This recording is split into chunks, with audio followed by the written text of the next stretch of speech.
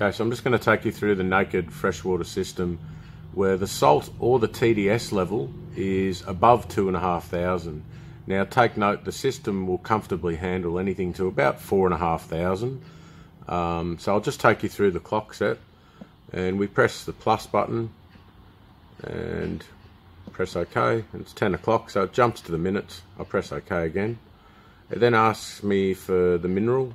Is it salt? Or is it mineral mix and you press plus or minus to change? In this case it's salt.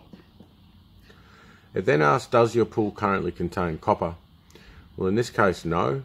So I press the minus button and it's 60,000 litres. So I hold my finger on the plus button and I press OK. Now straight away it comes to this screen. The first thing I want to be doing because of the high salt level I just want to hold my finger on the minus button and you'll see the oxy set, it'll reduce from 100. I just want to bring that down to about 40 and just, just in the initial startup.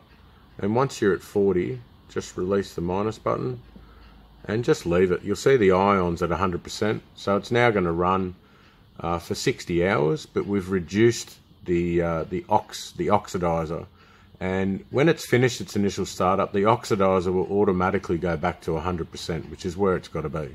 And that's it.